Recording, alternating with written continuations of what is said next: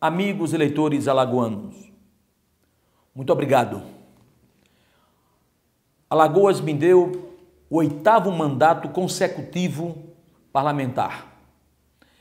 Venho aqui agradecer a todos, aqueles que confiaram em mim e em meu filho, Carimbão Júnior, deputado estadual e deputado federal.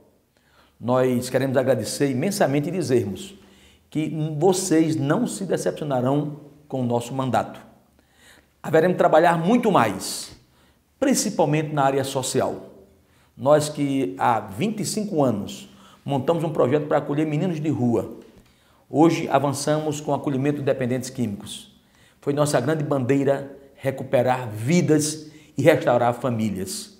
Desta forma, queremos agradecer imensamente a todos aqueles que nos confiaram com seu voto Obrigado em nome do meu filho, Givaldo Carimbão Júnior, deputado estadual, e meu particular, deputado federal Givaldo Carimbão, com o número 9090.